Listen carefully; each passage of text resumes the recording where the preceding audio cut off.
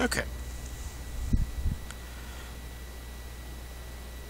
So, welcome back everybody to another episode, rather, the first non-introductory episode of Compelled Cooperation Plays Pillars of Eternity.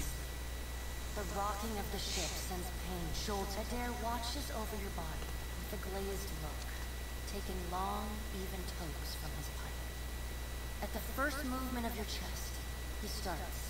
His gasp, mid-puff, sends him coughing and straining way. for breath. You're awake. How you feeling? If he thinks there's no way I'd ever wake up, why'd he take my body with him? No, we don't have enough requirements in our stats. Uh, we know who he is. He's our meatbag. I hate to cast a pall over your recovery. Oh, Afraid I have some and we kept my statue. Eothas possessed the statue of Maros Nua and rose from the ground, consuming the souls of all nearby. It is only by the exceptional strength of your soul. The further Eothas withdrew, the weaker you became. We chartered this ship and followed him to the Deadfire Archipelago. I know not how, but it seems he has retained a piece of your soul. How could you know all that? Because I got plot armor. Going topside, we... Magnus fires the captain's stars. Hengrim, the smell of drink on your breath could wake the very dead. Pirates. I know this is asking a lot, but you better arm yourself. So let's see. Tab key shows our stuff. All right.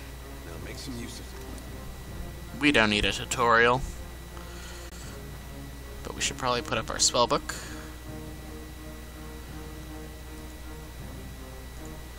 Weapon sets. What's this thing? Ah! The bonus that we got from the first game. 25% max health, all defenses, and all skills. Oh, it's food.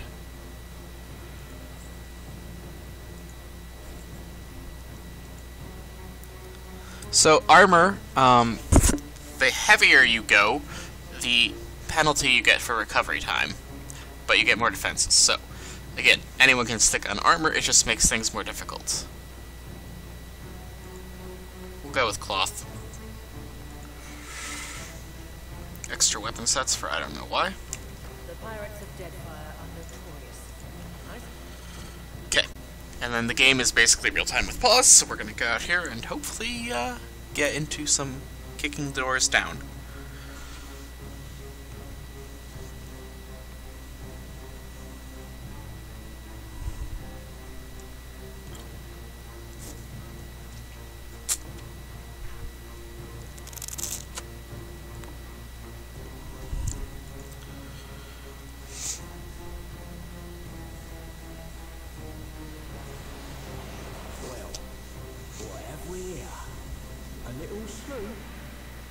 Lost and alone in the storm.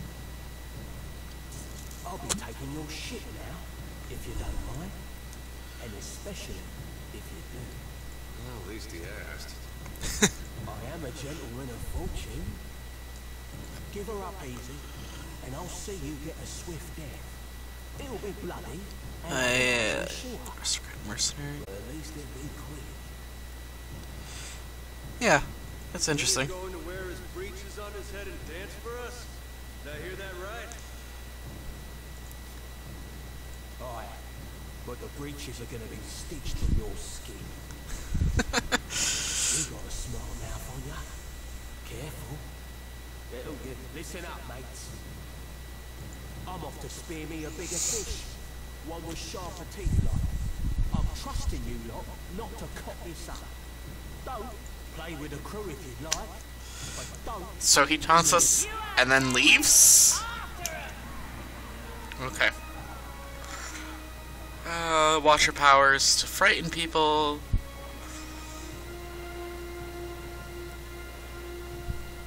Spellcasts. Arcane Assault is your standard, so we have accuracy 24 versus their reflex for some damage. Or missiles with always guaranteed to hit. And you'll crush or corrode. Arcane Assault is pretty good. Look at that nice AoE, but only 37% chance to hit.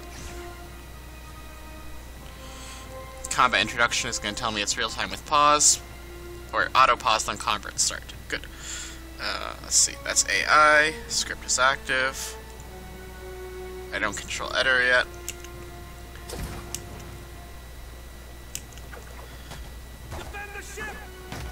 So the white bar there is the uh, recovery time. And we are going.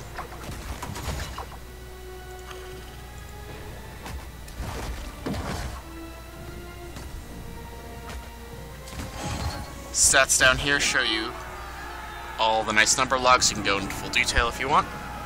But yeah, killing pirates. Easy.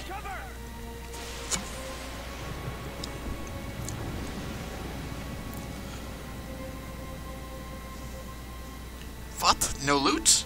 The whole reason you kill people loot the corpses.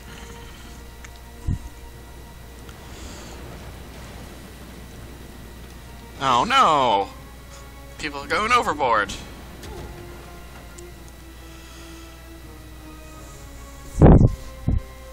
People or stuff? Stuff.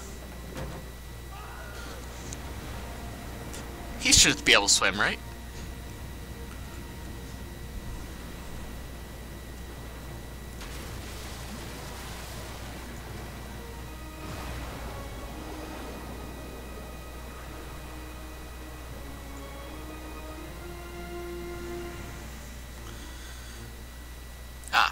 So this tip is basically summarizing that spells that are int boosted will only do foe damage in the intellect increased area of effect, while they'll do both friend and foe damage in their base radius.